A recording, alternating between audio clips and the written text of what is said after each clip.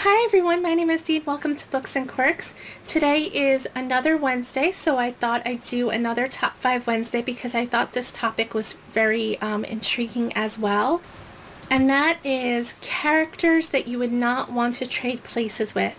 So I picked out five, so let's get to it. And as always, I will leave all of the information for the Goodreads group, um, as well as Sam's channel from Thoughts on Tomes, who is the host, in the description below. So the first one is Juliet in The Madman's Daughter. This is also, um, this is a trilogy and Juliet is the young daughter, I think she's 16, and she is the daughter of a mad scientist. And she is forced to to find him. He's sort of escaped to this um, island where he does a lot of experiments on animals and um, and people to an extent. So he's really quite crazy. And, you know, Juliet goes there to find out about, you know, her history and her father and things, crazy things just happen. So I found this book hard to read. I really love animals and the, you know, idea of the experiments was really um, creeping me out um, and disturbing, but um, I would not want to trade places with her. Throughout the entire trilogy, you know, I won't give spoilers, but the trilogy, I read the whole, the whole thing, and the whole thing is crazy and enjoyable at the same time, but I just, I would not want to be her at all. Um, as much as I enjoy those books, it's just crazy. I read this last October, I think, for around Halloween, um, the entire trilogy, and it was a good sort of October read. The next one that I want to talk about is also one that is a good October read, and I read it also last October, and that is Stella in The Creeping. The main character is Stella. This is a YA psychological thriller, and I haven't heard any booktubers talk about this book, which is really surprising. This is a book that I bought when it first came out. I wasn't um, looking for it. I just happened to be walking through Barnes & Nobles. I saw it on the shelf, and I thought it looked really creepy and disturbing. You know, there's this creepy looking girl with a creepy looking face in this tree and it's black and white and it just looks the back it's just so so creepy and um, like I said it's a YA psychological thriller and it was really quite good let me preface this by saying I don't usually guess what happens in the end I'm very bad at that I know a lot of people sort of um, already know what's going to happen by the beginning of the book. I did not, I, I will say that I did not see what was coming in this book. Um, I had my suspicions, but I was completely wrong, as I usually am. And, you know, the end just threw me for a loop. And it was such a good psychological thriller. You know, it's, um, YA psychological thrillers are sometimes, you know, on the lower end of creepiness but I thought this was a very good one and you know sort of breached that high end um, higher end of, of creepiness that I love and I would not want to take her place at all. So the next character that I would not want to trade places with is Celestine in The Flawed World. Um, Celestine is the main character and you know, actually, even if it wasn't Celestine, I wouldn't want to trade places with anyone in this world. Because this is a world where if you have um, a, a character flaw, you know, we're all flawed. All humans are flawed. And that's the main theme of this book.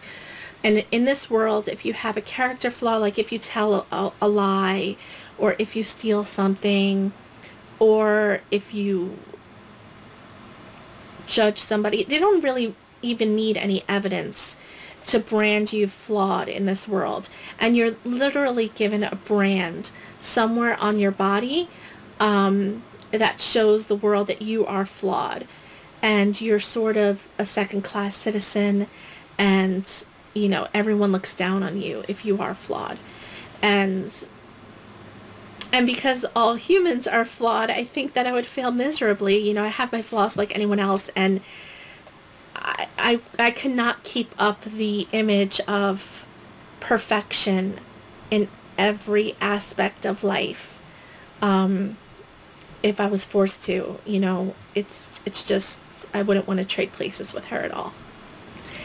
So the next book, or the character that I wouldn't want to take the place of, is Mark Watney in The Martian. I loved this book. This was one of the first like real sci-fi books that I read.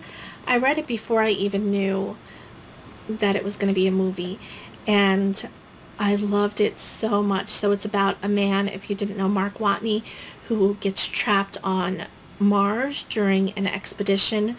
Um, the crew thinks that he's dead, so they leave him when they um, when they leave the planet to go back to Earth, and it's just so good, but so I I would be out of my mind scared. Plus, I wouldn't. I'm not a scientist like he him. I'm not a um, a botanist. I wouldn't be able to.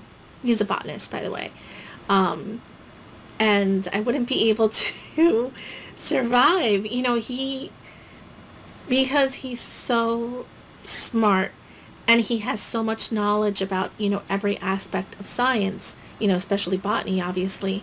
Um, he's able to find ways to survive and find ways to sort of um, even grow things on a planet where nothing grows um, in order to survive enough time so that they can find so that NASA can find a way to rescue him.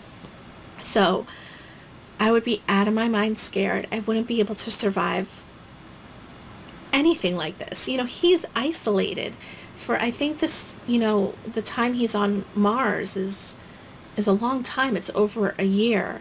Um, so that's that's just pretty crazy.